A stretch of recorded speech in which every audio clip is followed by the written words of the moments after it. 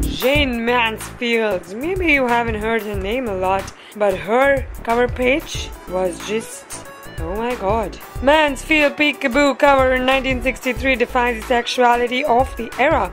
You had to be sneaky about it. Inside the issue was Mansfield and all of her blessings, and it still had to be the sex appeal radiated by this risky actress who was also Miss February 1955. And that color coordination Playboy, you win our hearts, not just boys. Tell us in the comment section below how you like this cover page with your likes and subscribes just here.